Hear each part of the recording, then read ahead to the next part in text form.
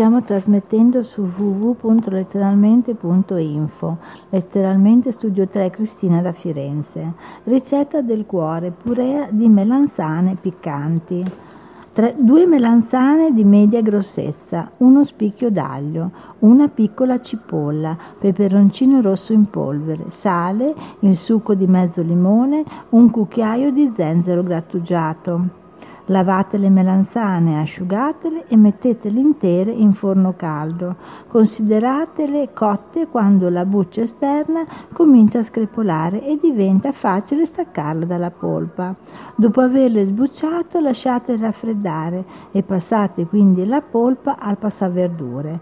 Tritate la cipolla e l'aglio sbucciati e mescolateli alla purea assieme a del peperoncino, sale, succo di limone e zenzero grattugiato.